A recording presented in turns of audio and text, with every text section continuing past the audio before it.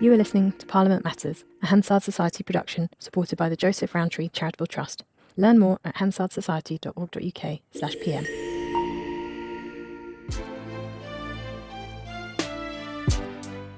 Hello and welcome to Urgent Questions, the special edition of the Parliament Matters podcast, where we try and answer your questions about the inner workings, the inner mysteries of the Commons and the Lords and Westminster itself. I'm Mark D'Arcy.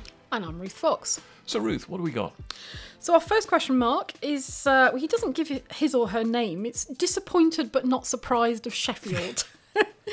um, and uh, and disappointed but not surprised has has said at the end of January, there was an e-petition that was debated calling for uh, an early general election. Got over 100,000 signatures in order to get a debate. Very few people in the chamber. Um, ended in less than an hour. Um, and basically, um, our questioner is asking, in the words of Homer Simpson Doe, what exactly has that petition achieved? So I think the least likely outcome of all this was going to be that um, the minister would get up at the end of the debate and say, Yeah, it's a fair cop. The Prime Minister's on his way to the palace to get an election called right now. That was never going to happen. I think the Petitions Committee and the whole petitions process is at its most effective when it's raising an issue where something is actually possible to be done. Uh, in, in this case, the government's going to call an election at what it conceives to be the most advantageous moment. Mm. Uh, that's it. But when you're talking about other things, when you're talking about the cost of parking at hospitals, which is a huge issue for sort of repeat visitors who often face quite significant bills for their visits. When you're talking about things like the infected blood scandal, when you're trying to sort of galvanise some cause into a bit more action, that's where the petitions process really comes into play. Not least because MPs know that petitions debates are, after PMQs, pretty much the most watched parliamentary event online, often driven by these sort of hashtag media campaigns, and that they know that there's um, some glory to be had. I can imagine that the chamber was empty on this occasion because because there wasn't any any great no. glory to be had because this was a very sort of symbolic debate that they kind of had to do because the number of signatures had passed the threshold of 100,000. Yeah, and they knew what the answer from the minister was going to be. No, you're not having an election early. uh, that's it. the prime minister will decide when he's good and ready. Um, so our next questions, um, they're also anonymous, um, but they're related. So we've discussed prime minister's questions uh, recently on the last couple of episodes, and we've we've got questions about PMQs. So first question says was there ever a time when the prime minister of the day actually gave a proper answer? It's deviated from an actual Q&A and why don't the questioners object to not receiving an answer? Um, and why doesn't the speaker, you know, have any power or influence in this charade? Oh gosh, well there are quite a lot of answers to that. The first is um, Last year, sometime, I listened to a very rare recording of a Prime Minister's Question Time with Harold Wilson in it, uh, which was done during a, a, brief experiment with broadcasting live the proceedings of the Commons in the mid 70s. And it was a much more staid, much more formal, mm. mannered affair than Prime Minister's Questions has subsequently become. It's evolved since then into this kind of gladiatorial combat where you know, the Prime Minister is fending off the opposition leader and it's all very high temperature and the baying and roaring is always there. And maybe that's partly a product of when Prime Minister's Question Time stopped being a quarter of an hour on a Tuesday and a quarter of an hour mm. on a hmm. Thursday and became half an hour on a Wednesday, it became the kind of peak moment of the week, and maybe that stoked up the temperature in it. So that's the kind of course of, over which it's evolved in the last couple of decades. Um, powers of the Speaker? The Speaker can't be the arbiter of fact. The speaker can't be there suddenly getting up and saying, no, that answer's wrong, uh, because you know, no one's infallible. He's quite a, just as likely as anybody else to get stuff wrong if, if that happens. The speaker can only really call out misbehaviour in the chamber. So people who are shouting or gesturing or being rude or disrupting proceedings in some way, the speaker can deal with that. But he's never going to be a sort of quizmaster uh, giving uh, marks out of ten for the correctness of the answers. That would be a very dangerous thing for mm. him to become. I've always thought uh, if I were um, the leader of the opposition, an unlikely proposition, I grant you, But if um, if I was getting sort of some of the, the answers that you get from the prime minister, I've often thought I'd, I'd quite like to do the sort of slam my papers down on the dispatch box, walk out of the chamber, tell the speaker I've had enough of this, um, and sort of walk out into you know sort of outside on the palace estate, media press conference, and and and basically say I'm not doing this anymore because it's a waste of everybody's time. See what kind of reaction you get. well, well it, it, is a charade. I, I, I said a couple of pods ago that you know every time I watch PMQs, a little part of my soul seems to wither and die. Well, I'd love to know what the clerks sat at the table are thinking when they, they have to endure this every week, and they have to be, you know, completely straight faced. Um, they never they never give anything away, but I often do wonder what are they, what are they thinking uh, Well, about it all. It, it is that one thing that does slightly surprise me doesn't happen more often. I mean, the, the, the, there have to be half the questions from the opposition and half the questions from the government side. So why aren't more opposition MPs lined up with the option of being able to say, when my honourable friend, the leader of the opposition, asked this question, the Prime Minister didn't reply. I would like to give him another chance to actually you know, properly answer this very important question. You know, if you get that happening two or three times, it kind of hammers home the point that an issue has been dodged Yeah. or answered with some form of words that's so vague that it doesn't really take you anywhere. So there is that option for follow up, but again, that turns the thing into something that's even more orchestrated than it already is. Yeah, yeah. And our second sort of related question is uh, is around the that question of the power of the speakers. If he actually did send somebody out for his much vaunted cup of tea, threw them out of the chamber, I mean, how does it work? What's what's the process? Well, there's the there's the formal process of naming where someone's behaved particularly badly, where the speaker says, "I name Mister Such and Such, such and hmm. such," and then the chief whip is supposed to get up and uh, immediately move a motion that they be excluded from the chamber. Sometimes the speaker will just order someone out and they'll go. Yeah. If they refuse to go, then you get the process of naming, uh, uh, at which point, if necessary, they'd be frog marched out by the by the ushers, I suppose, Yeah, the sergeant at arms with his uh, with his sword by his side. Um, yeah, and, and uh, you know, in if things were to deteriorate considerably, the speaker can also, of course, suspend adjourn the sitting. Uh, grave disorder having broken out, I Yeah. think is the phrase, and then uh, and he can just suspend the thing and do. And, and you sometimes wonder if it gets particularly silly, whether that might be quite a salutary lesson. I've had enough of this. yeah. Uh, if, if they can't grow up, I'm going to stop the proceeding altogether. Yeah, yeah. Uh, it would be quite a thing for a speaker to do. Yes, it would. So, our next question is from Don Frampton. Is the practice of parliamentary whips, so this concept of one, two, or even three line whips, resulting in MPs being known as no more than lobby fodder, is it in the best interest of democratic government? We should e- probably explain the, the, the nature Yeah. of one and two and three line whips.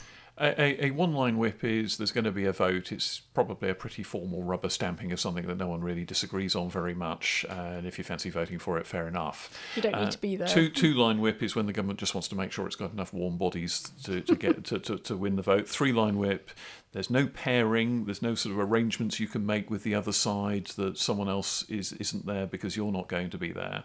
Uh, to sort of balance out your absence. Uh, three line whip is the full array of three line whip is the full array of parliamentary um, forces lined against each other, no exceptions, pretty Yeah. much. You must be there. You in- must be in- there. Your the presence House. is required, or Yeah. some such phrase Yeah. is used on the document MPs are given, telling them what votes are, are expected. And of course, these days that's backed up with text messages and things. Come on in. There's a, there's going to be a vote suddenly, and, and, and people whistle them up. Every now and then, um, the government's caught on the hop. And uh, has to sort of rather scrabble around to make sure it's got the people in place to, to, Hmm. to, to win a particular vote. And when it's a three line whip, you sometimes see them sort of calling back ministers from overseas visits, select committees from overseas visits to make sure that they've they've they've got everybody in the precincts of the palace so that they've got was it seven, eight minutes to vote? Yeah, and there's a process of nodding through where someone, if they're on the precincts of the palace, in a stretcher even, can be considered to have voted.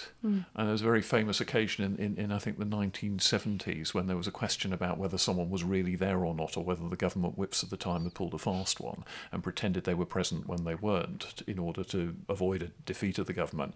But in general, um, the whips try not to game these votes because if they do, you know, that way madness lies. The whole system can grind to a halt. And indeed, in the 70s, it did for a while because there was a, a, a the opposition um, stopped cooperating uh, in in the conduct of votes, and everyone had to be there all the time for every vote, and, and that caused some pretty chaotic results.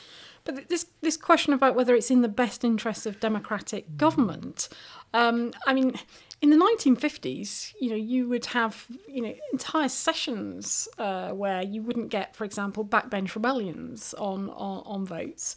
Um, you don't see that now. You, you, it is a, a more rebellious uh, legislature than, than than it was in decades past. Um, but nonetheless, you know, it's it's important, I think, for to be able to govern that there's some coherence and some some consistency. Um, and if all your MPs can do whatever they like when they like, um, that chaos lies in, Yeah, in that direction. absolutely. The, a coherent party system is necessary for the process of orderly government. And, and this is where you get to the difficulty of MPs deciding that they're going to just sort of make up their own mind completely independently on every question. Um, it's suddenly it starts to look a bit more like the U.S. Congress, where you know the process of sort of pork barrel politics, and then uh, Congress persons having to be in effect sort of bribed with goodies for their constituency in order to vote for a a, uh, a certain proposition. That kind of thing can happen. I mean, it did happen to an extent here. I had a theory that uh, during the latter days of Theresa May, when she didn't have a majority, every time there was a tight vote in the House of Commons, uh, she needed the support of the Northern Ireland DUP. So every time things got difficult, another small town in Northern Ireland got a bypass or something. um, so it, it does happen a bit in, in this country, and, and maybe a slightly more open system where MPs were a bit more willing to go off piece might mean that they were able to get more goodies for their constituency yeah. from time to time, which I think happens informally a bit at the moment. Yeah. But at the same time, you know, government could be, would become tremendously incoherent if every vote was an open vote where almost anything could happen. Yeah, it's also important to remember on things like legislation, you can have you know a run of, of multiple votes uh, each evening, and on very very technical amendments. Um, and for example, if you're a minister or you know you've been on a select committee um, and you're suddenly sort of pulled into the to the chamber, you've got you've got to vote. Are you on top of every the, the dot and comma of every amendment that Almost you're voting on? not. No. Um, and that's where the whip is the guidance. You know, this is the agreed party line, and you should be supporting should be supporting this. Yeah, and when you buy into a political party, it's very likely that you don't believe in every dot and comma of their policy platform. You're buying a package deal. Yeah. Here. Just as if you go on a holiday, you may not want to go on the on, on the guided tour part of the trip, and you may prefer to stay in the bar at the hotel or whatever. you know, sometimes there are things that you don't necessarily buy into, but you're kind of stuck with because it's part of the package. And if you start rejecting large chunks of the package, maybe people start concluding you shouldn't have gone on the holiday at all. Yeah, I mean that's that's in the essence of parliamentary democracy, isn't it? That Yeah. ultimately there has to be compromise because not everybody can have everything they want all the time. Although some of them would really like that. Indeed. Well, we've got a question here from Ollie Day. Sinn Féin MPs, of course, don't take their seats in Parliament. However, they are able to have offices in Westminster. Would you be able to provide an explanation of any of the differences in the way in which their office operation is funded compared to those of other MPs? Yeah, so I, I owe Ollie an apology for this because this has been hanging around for a few weeks. Took a bit of research, so had to look into this one. Um, so, uh, so Ollie, the the answer is, um, well, as many of our listeners will know, Sinn, Sinn Féin MPs don't take their seats in the House of Commons, so they have what's a policy that they call abstentionism. Um, they don't take their seats, they don't vote. Um, MPs are required by law after the election to take an oath of allegiance or to solemnly affirm uh, their allegiance to the monarch in, in order to take their seats, in order to vote, in order to get their salary. Um, Sinn Féin, of course, refused to do this. So they don't receive parliamentary salaries. Um, it's said that Sinn Féin, the party, pays them a salary, believed to be something like they, they refer to it as the, an annual industrial average wage. Um, they do, however, receive money for expenses, so they get office costs and travel costs.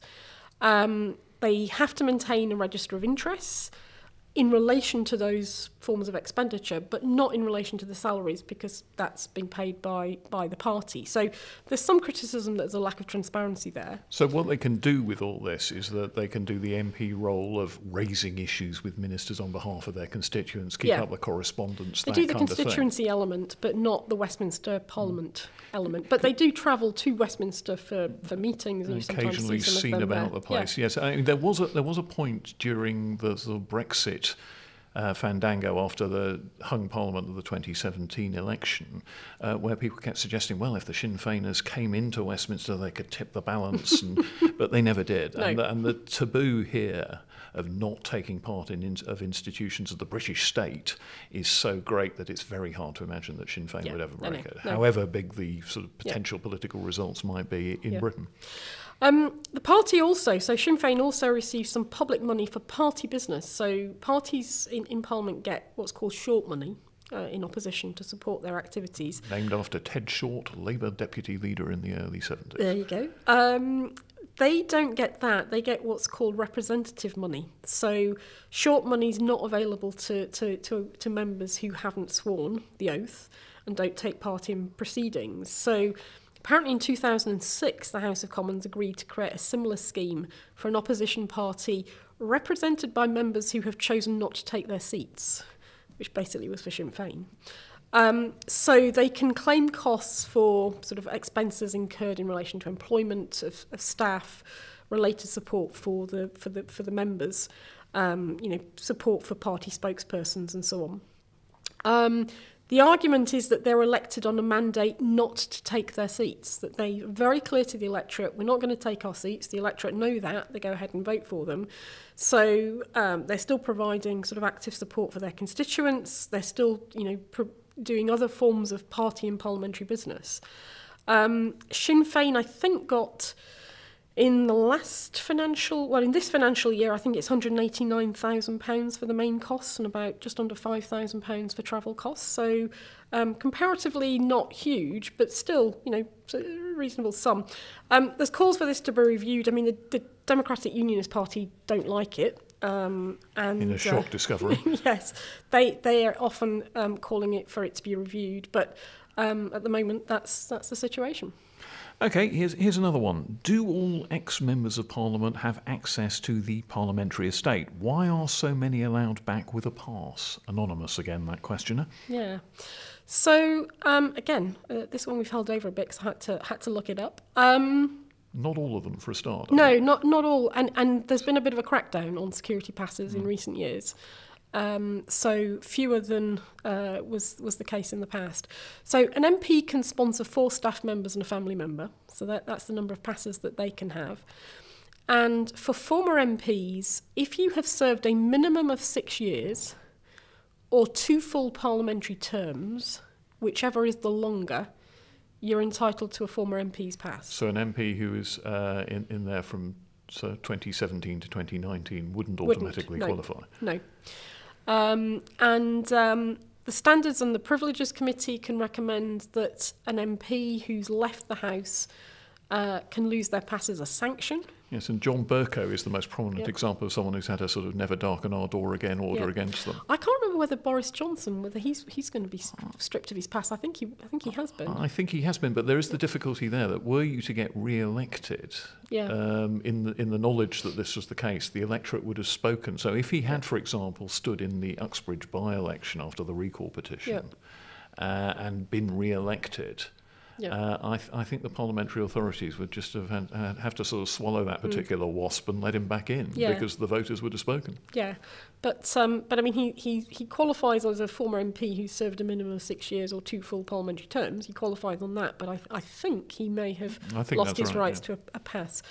Um, there's a lot of concern about the number of, of former MPs using the pass. I mean, the, the, the big issue is how many of them are using it for lobbying, because Yeah. a lot of them do sign up for, for lobbying com- companies. Some of them run their own consultancies, and that this gives them privileged access. So that's that's the big criticism.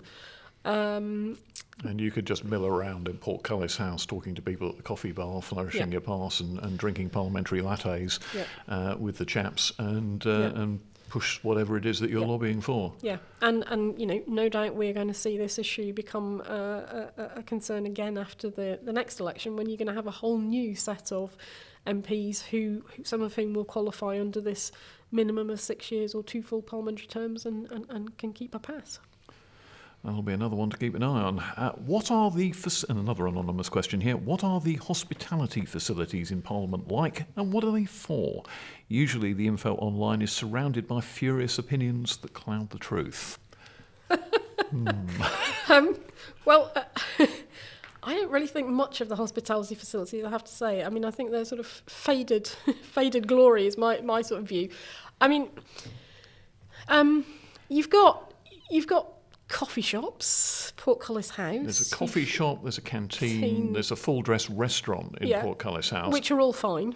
And then there's the uh, there are various other canteens about the estate. There are also a couple of restaurants of varying degrees of grandeur, and there are also members-only facilities Yeah. where they can be untroubled by Yeah. journalists and staffers and so forth because it's members only. Yeah.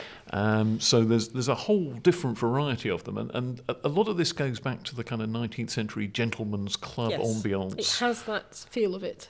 You know, and uh, not not least in the menu, which uh, um, perhaps it's a bit less traditional than it used to be now. But I, I kind of imagine it being at least sort of spiritually sort of beef beef um, steak and then spotted dick for dessert.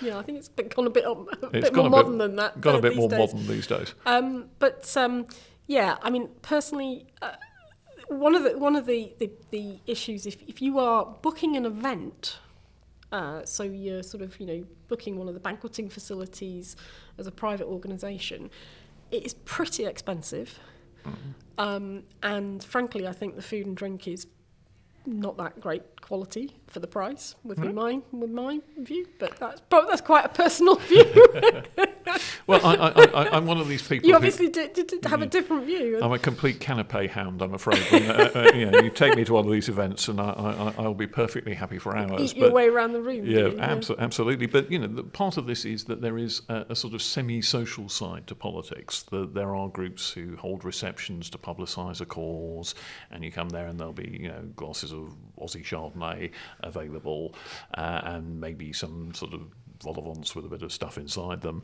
Uh, and also, there's the other side of it is when an MP is receiving a sort of delegation of people from their constituency, the drill is that they probably take them in and buy them all a cup of coffee. Now, you're doing that, you know, buying coffee for eight or nine people four or five times a week. That, that sort of mounts up to mm. quite a lot of money, and that's one of the arguments behind, well, let's subsidise this a bit. Mm. And they are a bit subsidised. They're not nearly as subsidised as they used to be, and you go around Parliament, there used to be little notices saying our prices have gone up because mm. we're not subsidising it as much anymore. I mean, it's worth stressing that these most of these facilities are used by not just MPs and peers, but parliamentary staff, uh, the MP's own staff, you know, journalists Jour- like yourselves in the lobby, visitors like myself. Um, you know, they are they are open to people who are on the estate, and they are feeding thousands of people, not just 650 MPs. it's a massive, massive operation. Um, so I mean, I don't know how many thousands per week are going through, but it, it's it's very big numbers. Um, and there's no doubt if you if you get an opportunity to sit out on the terrace of the Commons and the Lords and look out over the Thames, particularly in the summer, On a is- nice day, it's on fabulous. a nice day, it's fabulous. It's you know, and they say it's the you know one of the best views in London, um, and and and it, it- it's tremendous. Um, the other side of it, though, is that you know, linked. We've had discussions in past episodes about restoration and renewal of the palace. You know, I not that long ago sat in a meeting in one of the uh, tea rooms in the in the Commons, and had three mice running around my feet, which rather takes the, the gloss takes, off things. takes the edge off. I mean, certainly Yeah. in, in the older part of the building in particular, you do occasionally see mice, and you certainly see those little boxes of sort of poison intended Yeah. to eliminate them. And you do also see them in the more modern areas like Portcullis House. I can remember seeing the little brown blobs scuffling across the dining floor one day.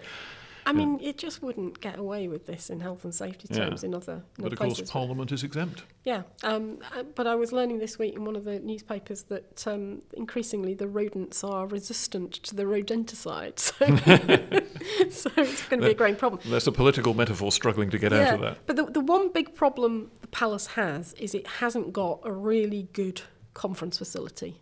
The biggest room on the estate really is the Attlee Suite in Portcullis House, which is the modern sort of office building uh, across from the palace, and that only holds about 120 people, something like that, maybe It's, 150 it's not vast. and it's not it's not great as an event facility for external events. Um, and um, I mean, just as an example, when the Parliamentary Partnership Assembly um, held its so this is the UK EU body. um, that was set up as part of the, the sort of agreements with the EU uh, uh, at the end of the Brexit process, meets a couple of times a year, sometimes in Brussels, sometimes in London. When it meets in London, as it did just before Christmas, it met in one of the committee rooms, and you know they were freezing. They were sat in their coats and hats because the heating wasn't on properly, the windows didn't shut properly. Um, and that's the kind of thing where you think actually there ought to be it's- better facilities for this kind of thing it's internationally embarrassing It's getting a bit embarrassing. On to the next one, then. Another anonymous question. What is the capacity of Parliament currently that would need to be supported if they were to vacate the Palace of Westminster for repairs? Stuff like offices, staff, dining rooms, bars, press galleries, meeting rooms, committee rooms, etc. Very big. A very great deal of facilities would have to be recreated somewhere else to keep Parliament operating because there's a whole sort of flying circus around those two chambers with the actual legislators in them that would need to keep going to sort of sustain democracy and make sure it was still reported. yeah whether you quite need to replicate everything and you certainly don't necessarily need to replicate it all in the same way and there are ways of doing things creatively differently you know adapting procedures using technology perhaps for some of these these things but it would be a big operation you need a big footprint and that's been the big challenge with the restoration and renewal process deciding where could you decant one or both houses to I love this. I love this word decant. You know, the MPs and peers would be decanted from Westminster like a fine, fine wine. port, you know, leaving a bit of a residue at the bottom, perhaps. But uh, Um, so the two options that they came up with were Richmond House, which is the old Department of Health building on, on Whitehall, yeah. uh, where the Commons would, the the plan was for the Commons to go, and the QE2 Conference Centre for the House of Lords. Now, the Richmond House would have accommodated the, the Commons Chamber, it would have accommodated, you know, committee rooms, it would have accommodated the press. There are issues about how you accommodate, I think, sort of, you know, things like the tours, visits by school children. I can't and imagine that. people would be quite as keen to visit what's essentially a bog standard 80s office block uh, as they would be to see the sort of Gothic Yeah. glories of the Victorian Palace of Westminster. So uh, I, I, I, I think you could probably bite the bullet and say fewer tours, maybe, even Yeah. though the, the prime reason to go there, I think, is, is to see Yeah. democracy in action. Yeah. Uh, And, and one of the reasons to have the locations close to the current palace is so that you could maintain the offices of quite a few of the MPs in Portcullis House, in the neighbouring Norman Shaw North building, um, so that you didn't have to decant them somewhere else as well. Because Um, they, they wouldn't need to be fixed at the same time as the, the sort of iconic Gothic building. Yeah, so you know they could stay in situ in the offices. You'd have to move some of the offices out that are in the main palace. Um, you'd have to, you know, the peers could maintain their offices, which are some of which are in the palace, so they'd have to move, but some of them are in neighbouring buildings across the road. But this is the problem, and uh, the sort of the solution that the Jacob Rees-Moggs of this world have proposed, you know, this idea that the MPs would stay on the estate while the work went on around them, and you'd have this sort of polythene bubble that would protect them all from Asbestos sewage, asbestos, and, and, and, and, and you know all the work on the mechanical and electrical engineering work. Um, the, the idea that you know this would be possible. Um, it, we would lose. I mean, there's questions about whether the press could have access because you mm. know the sort of the worked up proposals suggest that it wouldn't accommodate much, if anything, for the press. There'd be no public access. So Um, you'd be watching on television essentially. You Yeah. wouldn't be in the chamber anymore, Yeah. and you miss a lot when you're not in the chamber. You Yeah. know, the TV feed is not as revealing as being able to sort of crane your neck over the press gallery and see who's scuffling around in the Yes. background, who's talking to who, and you, know, you see the whites of their eyes. Essentially, you get a much better sense of the mood of the house. That elusive Yeah. part of parliamentary reporting, if you're actually in the room, far better than you do if you're relying on where the director is pointing the cameras at any given moment. Yeah, I mean, I, I once was invited in to watch PMQs in the Parliamentary Press Gallery, um, and it was fascinating. It was also fascinating what a different angle you get sat above the speaker's chair than Hmm. you get in the public gallery at the opposite end of the, the, the, the chamber in It- it- terms of what you see and, and who's talking to who. And It's a quite different experience. Yeah, Uh, it it's absolutely clear, and and that's part of the reporting of Parliament. That it may sound like I'm I'm fussing here, and this is just sort of privilege, but. Getting a sense of the mood, watching the background action Mm. is critical to reporting accurately what's actually happening Yep. in a legislature. And it can't be done just by watching it on telly. No. It, it really, really can't. Because I, I know that because I spent you know the whole period of the pandemic watching Parliament down the line. Didn't go into the chamber for ages, and it's a totally different, much more limiting experience. Yeah. So you know that that is the challenge. Um, it, it is a it is a huge operation. Um, thousands of people involved. Um, you know, you've got this combination of, of, of parliamentarians, staff, uh, you know, catering staff, security mm. staff. Mm. You've got the journalists, you've got the public, you've got the, the you know the school visits. How do you accommodate all of that in a way that provides a, a decent level of access, transparency, accountability? Um, Uh, uh, whilst ensuring the proceedings can can can continue. And, and the other critical point that you always need to remember is that it's really incredibly important that Parliament is immediately next door to government. Yes. The ministers can be whistled up to appear in the House if there's a crisis in moments rather than having to take, you know, sort of hop on the underground or possibly the intercity train in order to get to wherever Parliament happens to be sitting. And this is, for my mind, the great flaw in the idea that Parliament could be relocated somewhere entirely different outside London. Only if you're going to take the government with it, in my Yeah, view. yeah. Because otherwise you are taking Parliament and government apart, and they need to be together. Yeah. Government I mean, needs to be able to listen to Parliament. Parliament needs to be able to listen to government. Yeah, they're fused. Um, yeah. You know, the, the, the, the, the government exists if it commands the confidence of the House of Commons.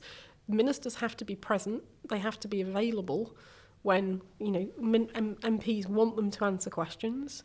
Um, they have to be available at speed in the event of an emergency or a crisis. Absolutely. And so you don't want to sort of in, in, interpose a sort of three hour journey on a train to take them up to, I don't know, York or wherever mm. it might be.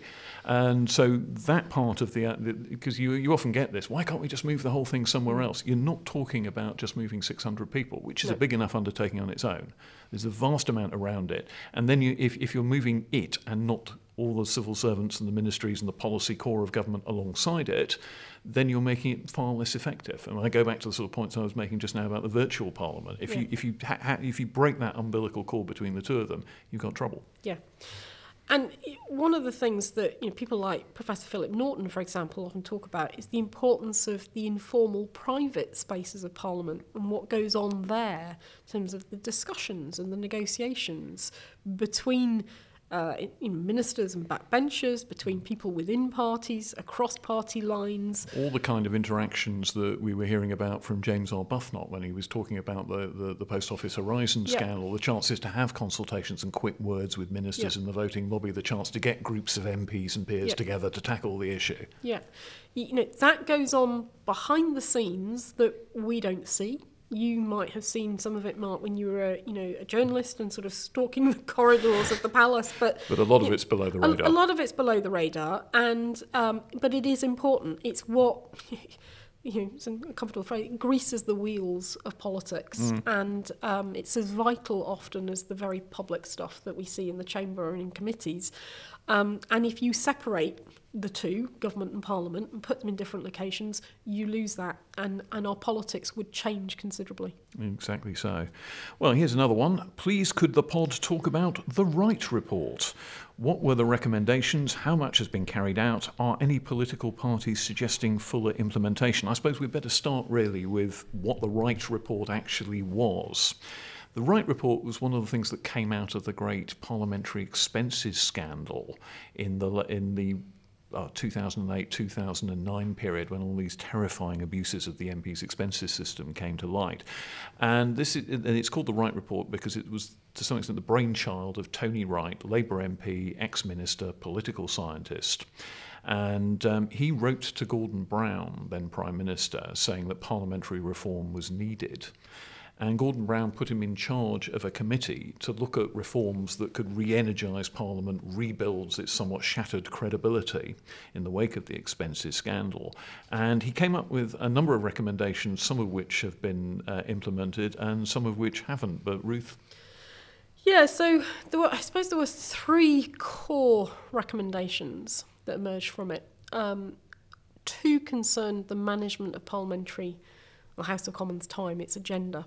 Um, so a big concern, something we've, we've talked about on previous episodes, is that the MPs don't control the agenda of the House of Commons, the government does.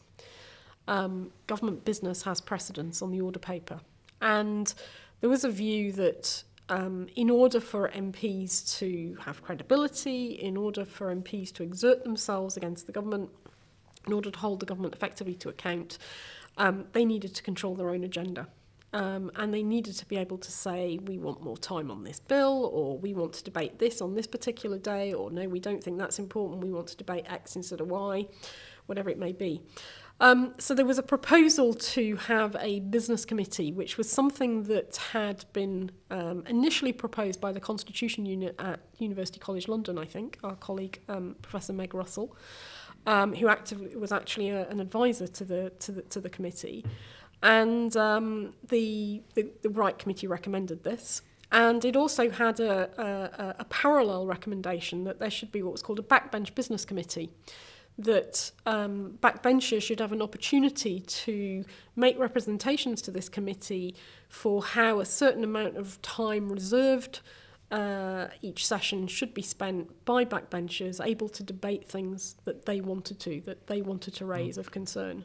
Yeah, and the, the Backbench Business Committee has had a, a, a quite an impact actually on, on the shape of the parliamentary week. Most weeks now, a Thursday afternoon is taken up with two debates that have been nominated by the Backbench Business Committee on subjects raised by MPs. So the way it works is that there's a kind of Dragon's Den session of the Backbench Business Committee where a group of MPs will go along. And it has to be a cross-party group. Yeah. It can't just be one particular party pushing its pet cause. It has to be a cross-party alliance.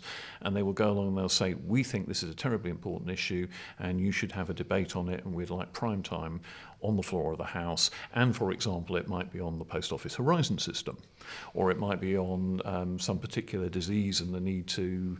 Um, you know, do spend more money investigating a particular type of cancer or something like that. It, it might be any anything under the sun really that a parliamentarian could be concerned about.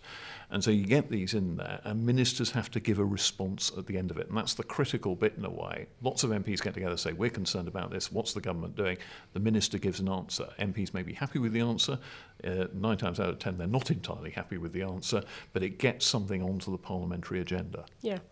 And when this was first implemented in the 2010 Parliament, I mean, the, um, the, the then Labour MP Natasha Engel uh, chaired it. And as you say, it's sort of like a Dragon's Den type uh, model where And- and- MPs come along and, and make their case for why their, their she, she debate indeed should be in- considered. invented that model. It didn't Yeah. have to be that way, but that was the way she decided it would be with open bidding rather than some sort of behind the scenes, sub usual channels, secretive arrangement. George Young used to call it Natasha's salon, where all, all the MPs used to have to turn up and make their case. Um, but um, and, and I think in that first Parliament, it had a big impact. It was a big change. There was a lot of interest, some some big debates.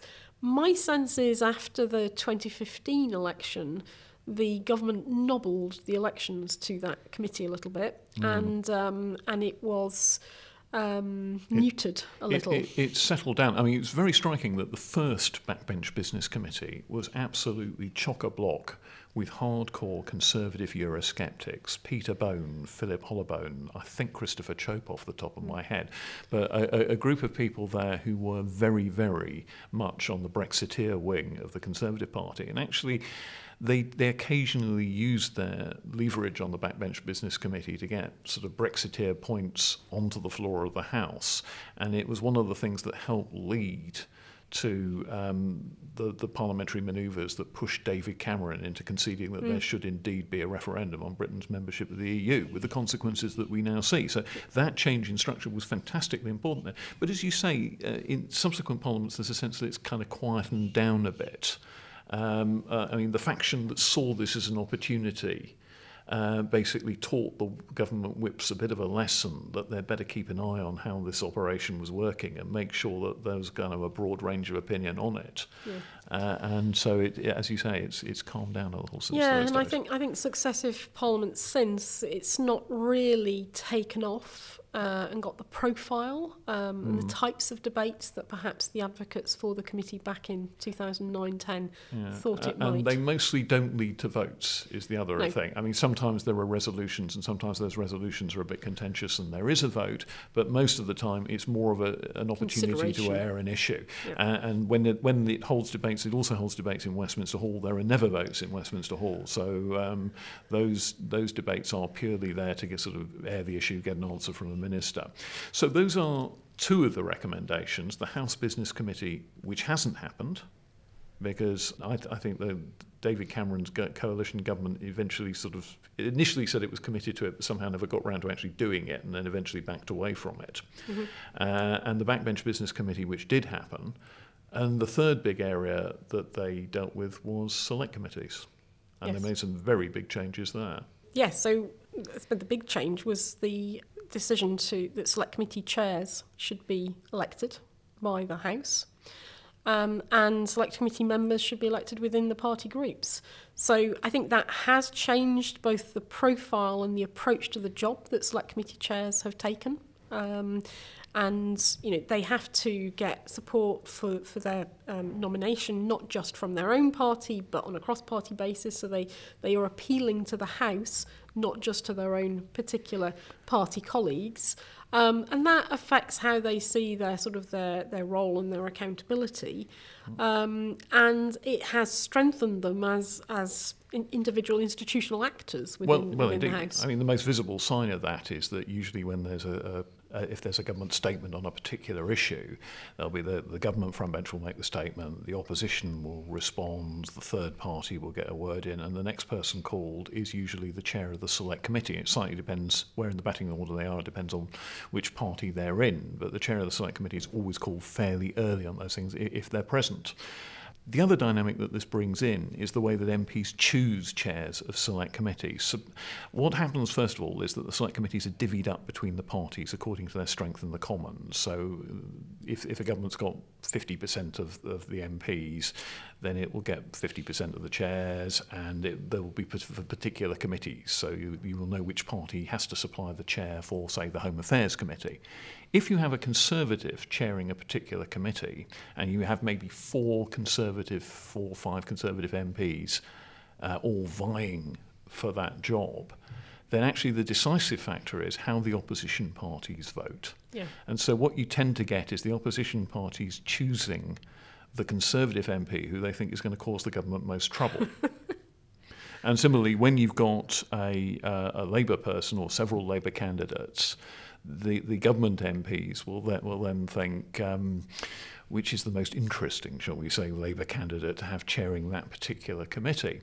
And so you, th- there's quite a little dynamic there. And it has meant, if you like, the rise of the troublemakers mm. to some extent, the people who are going to have the most interesting things to do. So when Boris Johnson was Prime Minister, uh, I suspect that a lot of Labour MPs thought that Jeremy Hunt chairing the Health Select Committee would be real trouble for Boris Johnson, so they voted for Jeremy Hunt.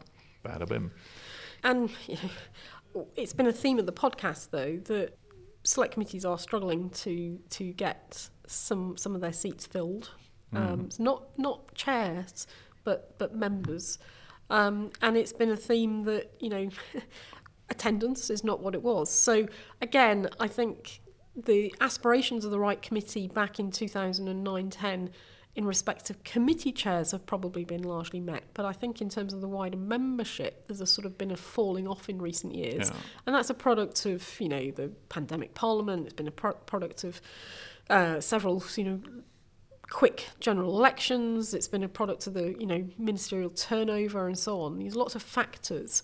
Um, but I think there's a feeling that select committees are not quite as on the uh, you know as, as, as hot an operation as they were yeah. um, sort of in the 2010 2015 parliament a sense of not firing on all cylinders yeah. but they are still places where an effective MP can really make their name yes. you know you get the viral clip of you as an MP questioning some villain about something they've done wrong and putting them really on the spot. Now, this can turn into quite gratuitous grandstanding or just chucking around insults if it becomes silly and if the chair lets it because sometimes chairs have to sort of calm things down a bit. But it can also be a moment where you can really put someone on the spot and uh, get a lot of attention for yourself as a member of parliament. And of course, attention is one of the currencies of parliament. Yes. And the other bit that uh, the, the Wright committee came up with was the idea of having an e petition system for Parliament, a way of getting concerns from outside of the parliamentary sphere altogether before MPs get an answer from ministers. I, partly modelled, I think, on the fact that the Scottish Parliament, when it was set up, created a, a quite effective petitions committee, and uh, MPs down in Westminster began to look rather enviously on its activities. And, and now we have uh, a petitions committee that's really quite a big part of the parliamentary ecosystem. Yeah, and, and at the time, of course, there was the number 10 e petition system, but those petitions didn't really go anywhere or nothing was achieved off the back of them. Um, and essentially, what uh, was proposed was sort of bring those in as a parliamentary petition system and and link them to parliamentary proceedings so that they could be considered, that there could be a response. Um, and it took quite a while for it to be sort of bedded in. Um, I mean, it was still effectively run run by the government, but whilst being a parliamentary process initially. And in fact, the Hansard Society was involved with the Backbench Business Committee, with Natasha Engel's committee, in trying to broker uh, effectively a deal with um, the then leader of the House uh, of Commons office, uh, the Government Digital Service, and the, the, the Backbench Business Committee, because at the time, a lot of these e-petitions that were breaking through the the, the threshold, the thresholds, the signature thresholds for for debates, were not getting actually debated because the government had had got control of the timetable, the agenda, um, and it decided when debates would be scheduled. And so the Backbench Business Committee hadn't got you know control over that process. And the other thing that was happening was that a lot of these petitions, because they were very popular, you know, they were organised media campaigns, particularly from from um, outlets like the Daily Mail, that were driving some of these e-petitions. But the government had access to the data of who these petitioners were. Parliament didn't. So there was a problem. How could the Backbench Business Committee and MPs communicate with the petitioners when they didn't have access to the data? So it was all a bit of a mess. And what I discovered to my, to my shock was that Natasha and, and George Young had not sat down in a room together to discuss this at any point. You know, they sort of been talking past each other. And I was asked to, in the society, if we could broker a discussion round the table and get everybody involved. And we were acting as a sort of convener, honest broker. And we produced a paper out of this you know, seminar that took place one lunchtime. Um, and a lot of the proposals that emerged out of that discussion were subsequently implemented then by the Procedure Committee, recommended by the Procedure Committee of the House of Commons, and then emerged in the 2015 Parliament with the Petitions Committee, which is the model we've got now. So it did work, but it took some time to, to, to get there. So that's turned into quite an important part of the workings of Parliament. Very quick last one for you. To what extent are written parliamentary questions performative? This is someone called Martin Thompson. The answers are so often cursory, following edits by SPADs, that is Ministerial Special Advisers, that it seems their only purpose is to raise a flag with constituents and ministers that an MP is taking an interest in a certain topic. There seems to be little scope in obtaining substantive answers with such perfunctory replies. Well, I'd agree with him on the point about perfunctory. I think they often are. I think actually the quality of the responses has been has been declining. Um, I think you read some of them and you think, you know, really, that's the best you can do. On the other hand, you sometimes look at the questions and you think actually that is something you could have googled.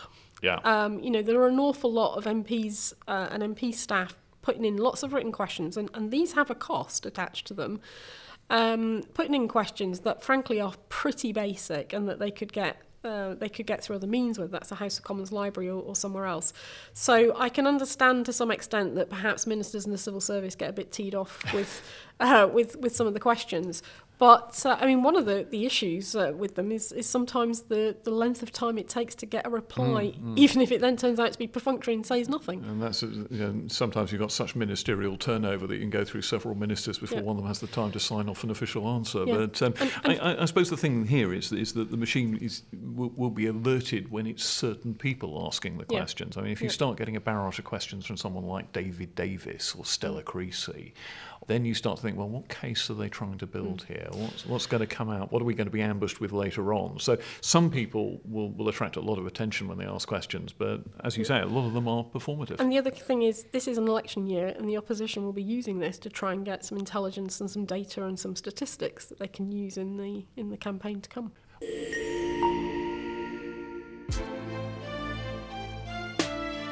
Well, that's all from us for this week's episode of Parliament Matters.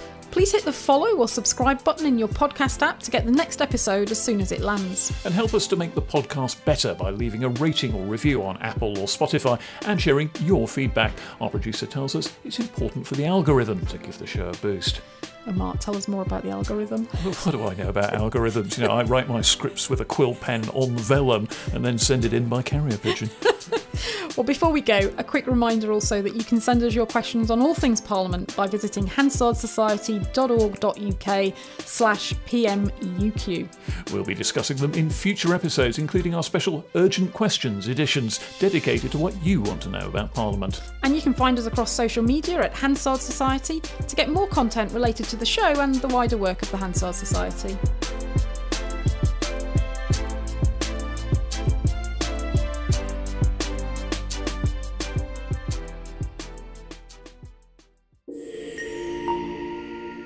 Parliament Matters is produced by the Hansard Society and supported by the Joseph Rowntree Charitable Trust. For more information, visit hansardsociety.org.uk slash pm or find us on social media at Hansard Society.